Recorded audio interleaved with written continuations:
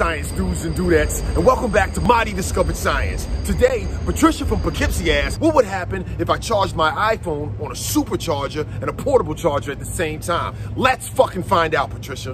What's up, science dudes and dudettes? Welcome back to Mahdiy Discovered Science. I got my iPhone here, and I'm gonna plug it into the portable charger and lay it on the supercharger, and we're gonna see what happens. It'll probably charge super quick, and I'll be able to meet my friends at the pizza shop for some pizza.